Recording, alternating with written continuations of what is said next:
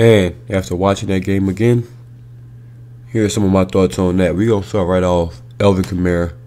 Man, what a game he had. Uh, finished with 10 catches, 179 yards, and a touchdown just as a receiver. And they double teamed this man basically every passing down in the second half. He got double teamed. And rightfully so. He was the only threat for, I mean, a long time on offense. So Seahawks was like, you know what? Somebody else has to beat us. But Ack still got the job done. Played great. Probably his best game all year. Uh, definitely his best game out the backfield. If you watch my um, you know, my analysis on, on, what I wanted to see before the game, getting the ball to Alvin Kamara, you know that was that was a big thing. That was a super super big thing for me. Obviously, if you watch Drew Brees toward towards the latter stages of his career, he just threw to Alvin Kamara for the most part, man. And sometimes it works. He's that good. That's all you have to do sometimes. Uh, I know some of y'all disagreed when I did the Jameis Winston breakdown because I know some Jameis Winston's uh, supporters are a little crazy and he can do no wrong. But I always said if Alvin Kamara is one on one, throw it every single time. I can't say it enough. If he's one on one with anybody on the field, you should look nowhere else. You're only looking at Alvin Kamara. Now, if he's doubled, different story. But if he's one on one, every single time, every single time I'm throwing to that man. Uh, also, that double team, it made me happy. I was waiting for someone to do it. They double teamed Alvin Kamara. But when MT comes back, you won't be able to do that. You put them on the same side, opposite sides. You can't double them both. It's just going to be impossible for you. So it did make me happy to see your team finally going to double team Alvin Kamara, which just means our offense is going to get you know more crazier. And they wasn't hiding it. They just walk up to the line with two guys and like, hey, two guys on you inside outside. Love to see that because it's going to just make the offense so much more better. And we got it on film. You know, we got the double team on film. Now they can go at it and see what they can do, you know, with the other guys to get them open and things like that. Also, we'll move to the receivers here. Marquez Callaway, he had a real good game. Don't let the stats fool you. My man was getting open, uh, things like that. Penalties hurt his stats. Definitely got, I think, catch for like 20 yards called back. He got a couple batted balls, you know, uh, when the, the ball was getting thrown his way, batted down.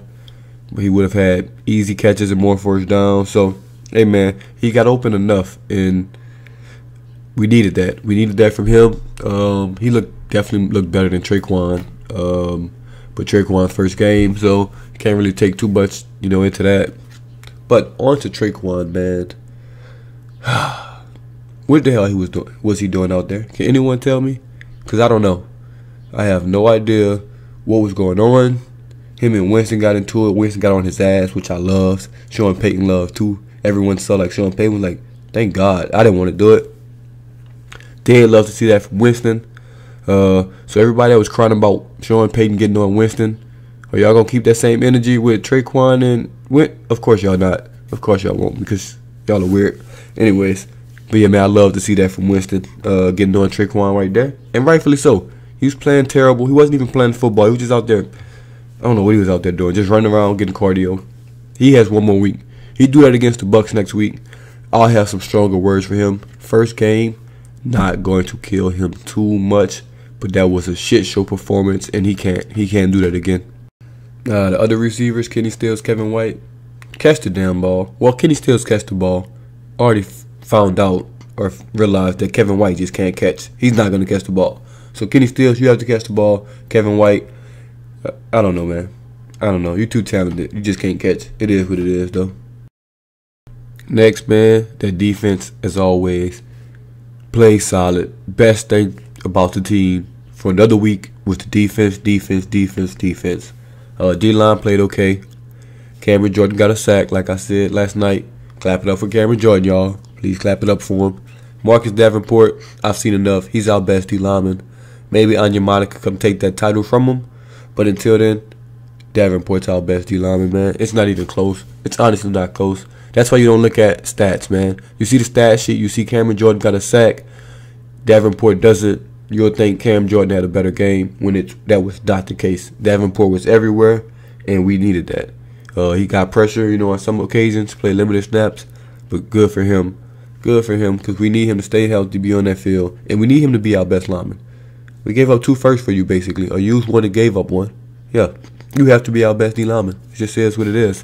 Linebackers played great, as always. Werner, Demario. I told y'all Werner was going to play over Kwon. Some guys didn't believe me. Now you see it with your own eyes. I don't think that's going to change in any time unless an injury, you know, comes up. Knock on wood. Don't want that to happen. But I think that's Pete Werner's job, and I think he's earned it and deserved it. So we'll see. We'll see what that uh, does. I'm sure Kwon will get his snaps. He'll definitely get his snaps, but that's Pete Werner's job to lose. Secondary, quiet night for Marcus Williams. I mean, that's a good thing. The safety's not making a lot of plays. That's a good thing. You know, the plays aren't even getting to him. Uh, Lattimore, he pissed me off in the first half. I'm sure he pissed some of y'all off too. Getting into it with Metcalf, man. Like I said, you letting the guy with blue hair get in your head. We just can't. We can't have that. Can't have that at all. Gave up that one touchdown. A lot of people called it offensive pass interference. Hey man, the game is the game. You gotta play through it. Uh, gave up that one catch, one touchdown. After that, didn't give up zilch. To be honest, played a great game after that. So, just gotta let the game just be played, man. Don't get into all the extra, especially with Mike Evans coming up. It's gonna be even more extra. So, hey, we'll see. Hopefully, he got it all out of his system. You know, him and Mike Evans are best of friends. So, hey, we'll see. We'll see what they do. Uh, only complaint I did have about Marcus Williams was he missed that tackle when Metcalf uh, scored on that touchdown. But hey, after we won, thankfully he did. Because if he didn't, I lose my fantasy league. And uh, I appreciate you, Marcus Williams. But make that tackle next time, please. And to special teams. Like I said, I watched this game again, man. Blake Gillikin, man, you're special. You're special. I knew he was special, honestly. Not gonna toot my own horn, but it was kind of obvious he was special. When the Saints cut Thomas Morstead, and they kept a punter you know, on the practice squad all last season. I never mentioned it because I mean it's the punter on practice squad, so it was just like weird because no one keeps an extra punter around. You know, you could just easily find a punter off the street, come punt. But to keep him on the practice squad, keep him in the you know the system, keep him around the team, he had to be special. And then to cut Thomas Morstead for this rookie punter that's never punted before, kid had to be special. And every week he showed up, he showed out pitting guys inside the 20. He's changing field position every single time. Remember yesterday he punted like 45 yards, put him inside the 20. I was kind of upset. Like, damn, that was a bad punt from him, which is insane. Insane to think about. He's, I mean, he's been a top five player for us this year. And last but not least, he wasn't the MVP, but I'm giving him the MVP anyway. He can get the MVP. He can shut up war with Demarion Ack. Brian Johnson wasn't asked to do a lot, it was short chip shot field goals, but he came in, he made his field goals, he made his extra point. Now Lutz doesn't have to try to rush back, you know, from this core injury, which you need to kick. Well, what you need to do everything. Looks like we got a solid, solid kicker in tough conditions as well.